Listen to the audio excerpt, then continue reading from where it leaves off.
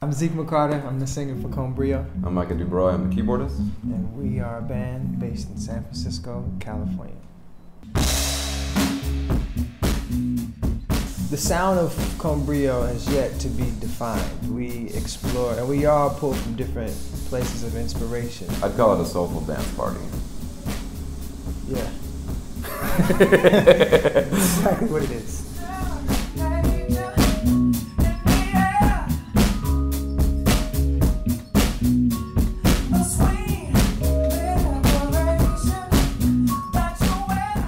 The process, we've been stewing on it for a while and we're bouncing around a lot of ideas uh, on tour in the van. I usually go out to like nature. A lot of the stuff I write is in nature or on run, so ideas get sparked from there. And I just brought the bass line in and uh, just like nature does, everything blossomed.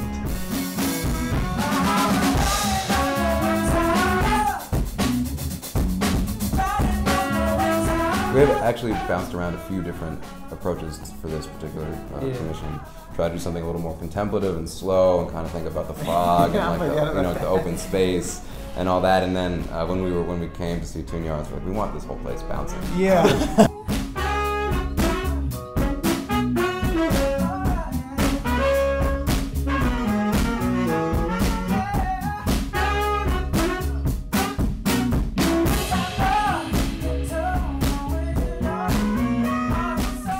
I first went to Stern Grove and I saw, um, I was going to see Anita Baker two years ago. Family Stone opened up for her.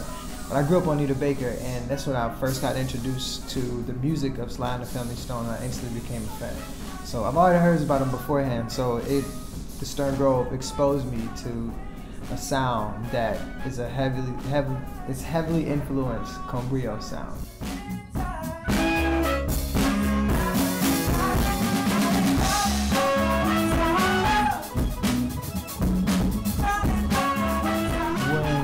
I went for tune yards, it was slightly different. Um, everything I was taking, I was absorbing every step.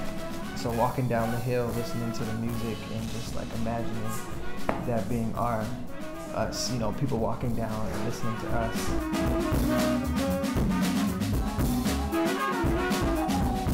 It's really nice walking around and seeing all the families and like younger people and older people, and you don't get that at a lot of shows. And to be in that uh, beautiful and open a space and see, you know, there's people who it seems like they've been camping out every Sunday, and it seems like they've been doing it for decades.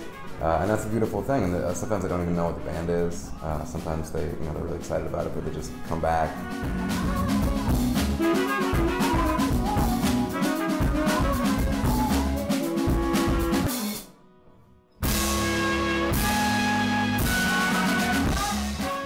Family's gonna be out here from the East Coast. Yeah. I'm really excited for them to be there, to be in that space, to play. I was pretty amped when we came to see I was Like, I just want to go up there right now. I want to do this right now.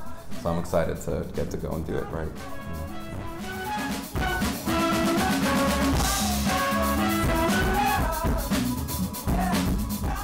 We're carrying the torch for a lot of powerful and influential artists.